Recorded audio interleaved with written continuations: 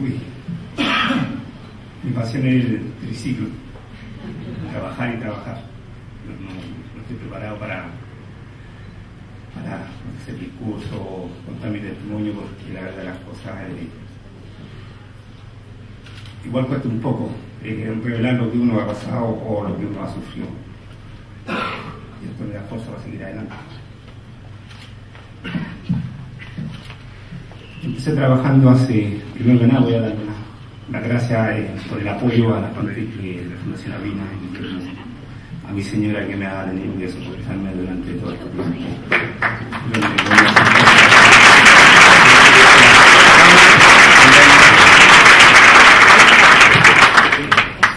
Que uno tiene que dedicar mucho tiempo y la verdad las cosas cuando uno deja a la familia por hacer cosas que puedan beneficiar a otras personas, eh, creo que hay que tratar de recompensar de una u otra forma a más. Yo empecé trabajando cuando tenía 11 años. Eh, trabajaba en la feria libre, agarraba los bolsos de la, de la gente que iba a armaba y desarmaba los puestos de verdura y fruta. Eso era todos los días de la semana, el día lunes que no, no, se trabajaba pesar de los tiempos empecé a trabajar en el tema de la recolección con, mi papá. Eh, trabajamos de noche en sectores muy, muy aledaños de, nuestro hogar. Nosotros vivíamos en Peñalolén, nosotros trabajamos acá en, en, en Manquehue, Providencia, Vitacura, esas partes. Bueno, y con el tiempo me fui dando cuenta de que había cosas que yo podía hacer, ya un poco más grande, 20, 25 años, que están al alcance, o sea, que, estamos haciendo un aporte, que estamos entregando un servicio, que estamos haciendo un, ayuda ambiental, todavía no estaba el boom del calentamiento global, todavía no se presentaba el tema de, de los cambios climáticos, pero nosotros sabíamos que, que, nosotros con el trabajo que hacíamos disminuíamos la tala de árboles de, de, miles y miles de árboles, donde participaban cientos y cientos de personas dependientes de, del sector social. Eh, y es un trabajo diario, nosotros trabajamos que dice horas diario, los siete días de la semana. Eh, vivimos día a día, nosotros hoy día no trabajamos, eh, el día de mañana no comemos. Entonces es un tema de que hay que, hay que luchar y hay que, hay que saber trabajar y dedicarse al trabajo. Hay otras oportunidades que sí también se pueden aprovechar, pero eh, cuando uno se enamora de un trabajo o de, un oficio, creo que es muy difícil poder eh, dejarlo. Eh, trabajar en construcción o en otra clase de, empleo. El fuerte mío es estar saliendo todos los días en el ciclo trabajando, tantas horas en el día, poder enseñar y entregar mensajes a la gente en temas de reciclaje, medio ambiente. Bueno,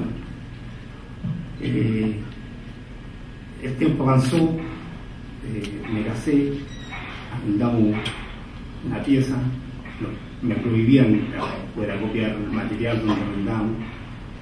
Empezamos a participar en un comité que se llamaba La Voz de los Sin Casa, donde teníamos que reunir 700 familias para poder hacer un comité de avanzada y poder eh, eh, conseguir nuestra casa.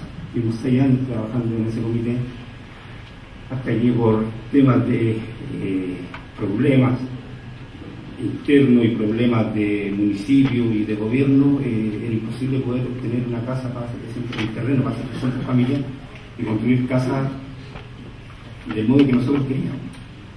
Casas dignas, amplias, y, y casas, no departamentos.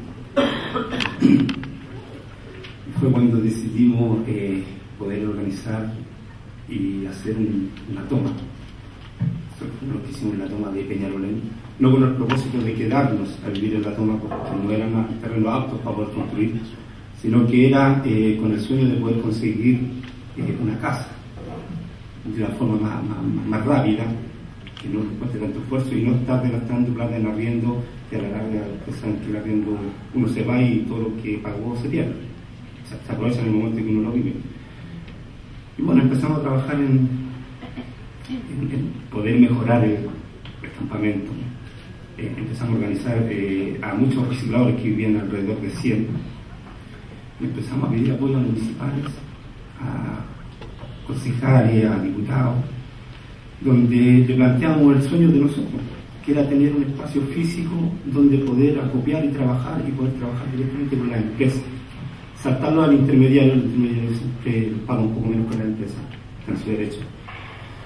Y nada, o sea, siempre golpeamos puertas, siempre tratamos de, salir adelante, de mejorar nuestra calidad de vida, nuestra calidad de trabajo sufrimos muchas discriminaciones por parte de la gente.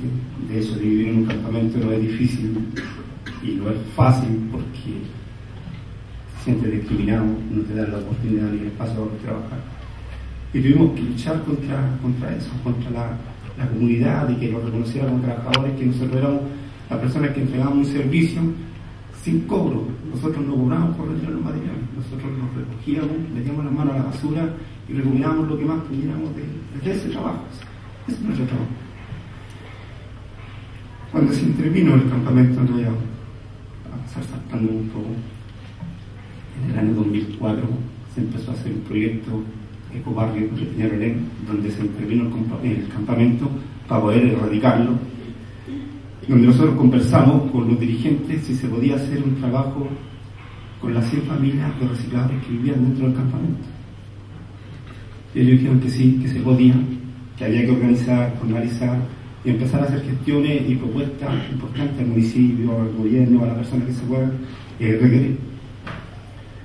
Y fue así donde empezaron los sueños a crecer. Los formalizamos. Primero le preguntaron qué es lo que queríamos. Queríamos desarrollarnos como personas.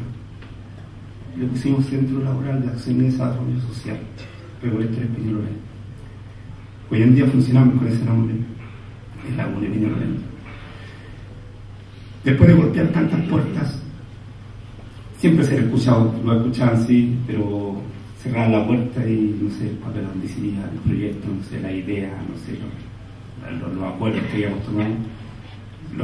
la cuestión es que nunca nos llamaron a decirlos que sí lo iban a apoyar o que sí podíamos eh, ser eh, un aporte para la comunidad o un aporte para el municipio. Siempre lo planteamos de esa forma, nosotros éramos un aporte de que disminuíamos la disposición final y eso era ahorro para el municipio y un beneficio para la gente que se podía sensibilizar con el tema del reciclaje. Bueno, en el año 2004-2005 eh, asumió eh, don Claudio Rego, donde volvimos a intentarlo, de poder conversar con él y presentar el proyecto. Y se estaba abriendo recién el centro Yunus, Centro de Emprendimiento Yunus. Y sí, ahí tuvimos el espacio donde poder explicar el proyecto, contarlo, contar nuestros sueños, nosotros queremos tener un centro de reciclaje, donde poder invitar a los colegios, a las universidades, a las empresas, a la gente, que conozca el, trabajo de nosotros, hacer charlas, poder ir a, hacer en los colegios, trabajar con la comunidad, abrir las puertas de los condominios donde nunca nos dejaron entrar. Teníamos un, sueño que para nosotros era un sueño.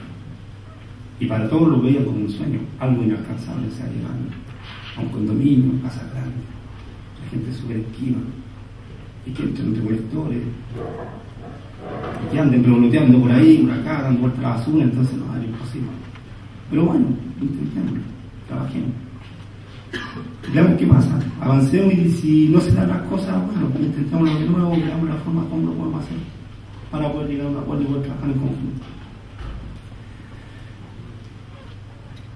Empezamos primero con, con operativos de limpieza, partes libre, acceso a cualquier reciclador.